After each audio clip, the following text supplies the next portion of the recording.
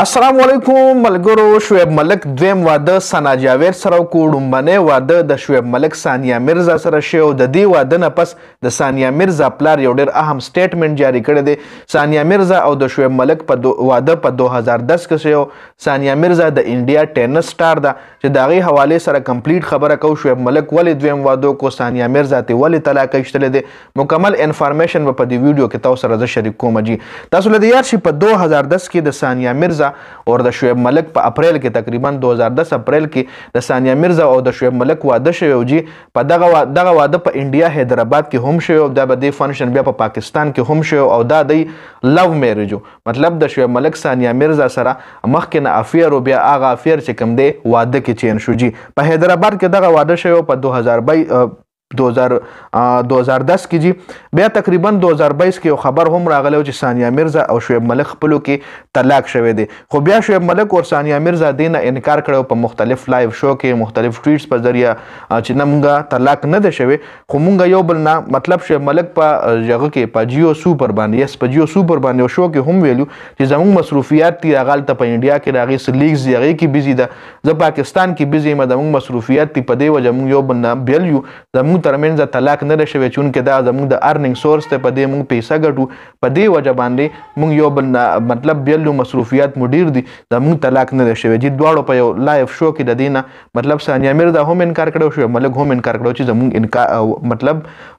طلاق نه ده شوی دي بیا جیو نیوز تر د طرف نه دا خبره هم وایرل شوې جیو سوپر نه جیو سوپر د طرف دا خبره وایرل شوې چې شعیب ملک نور جنکو سره افیر دی مطلب په دې وجه ثانیه مرزا د شعیب ملک نه طلاق غواړي جی نور جنکو سره هغه په موبایل کانټیکټس لري په دې وجه ثانیه مرزا وایي چې زه شعیب ملک نه خپل لارې جدا کوم شعیب ملک نه طلاق اخلم جی شعیب ملک کور والا بیا ثانیه مرزا پسې دوبۍ ته هم لاړل خبرې سمولو کوشش کول چونکه ثانیه مرزا په دوبۍ کې اوسېږي د شعیب ملک کور والا هم دوبۍ له ورغل ته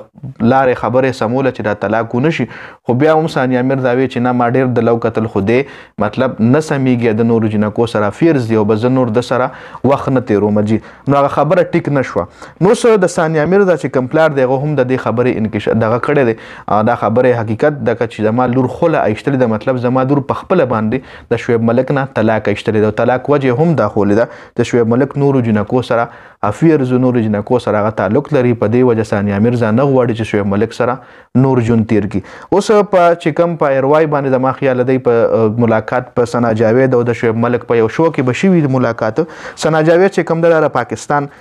شو هم هوست کوي مطلب اکټرس ده مختلف شوز کې هم ناسته پاسته کوي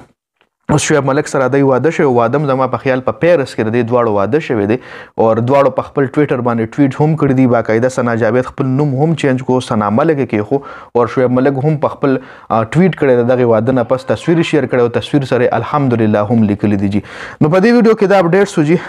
بس